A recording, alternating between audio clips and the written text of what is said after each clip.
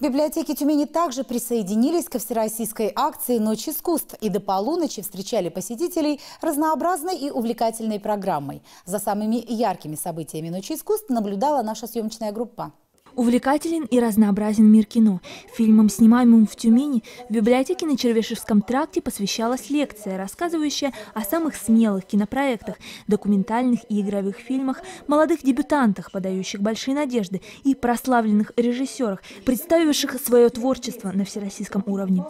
Я, конечно, попыталась порассуждать шире вообще о сибирском о, вклад, о сибирском контексте в отечественном кино, о том, как Сибирь, в общем, проявила себя в, отеч... в истории отечественного кино. Эм, и особо я уделила внимание вот тюменскому тексту в отечественном кино – когда, в каких фильмах, выдающихся, знаменитых и малоизвестных упоминается Тюмень, какие фильмы снимались. Тем временем в областной научной библиотеке любители слова и мастера поэзии смогли поделиться своим творчеством со слушателями разных поколений. Поэтические грезы и современные реалии.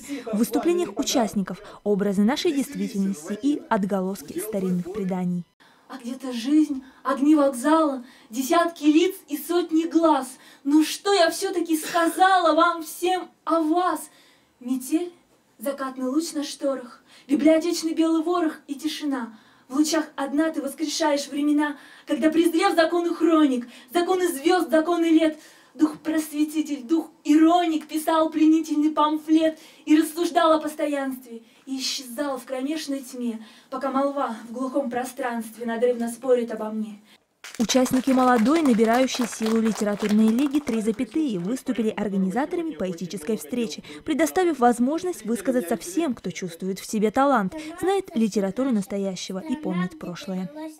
Хотим рассказать людям о поэтах, которые жили здесь прежде, о тех, кто творит сегодня, о том, что они существуют и что литература жива. И с этой целью мы подали заявку на то, чтобы получить место в библиотеке. Они увидели нашу заявку и сказали, ребята, вы те, кто нам нужны, чтобы расцветить нашу ночь искусств, в том числе и поэтическим объединением.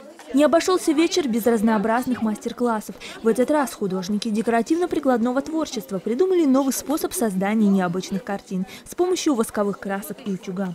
Очень интересная техника. Просто нужно проводить воском по поверхности утюга и утюгом потом впоследствии по листку бумаги. То есть сюда я постаралась уместить, уместить все, что возможно. А, небо, горы, какой-то лес. Тюменская ночь искусств в который раз прошла под девизом «Искусство объединяет». За несколько лет акция стала доброй традицией города, успев завоевать сердца любителей искусства разных поколений. Маргарита Чекунова, Сергей Лыкосов. Новости культуры.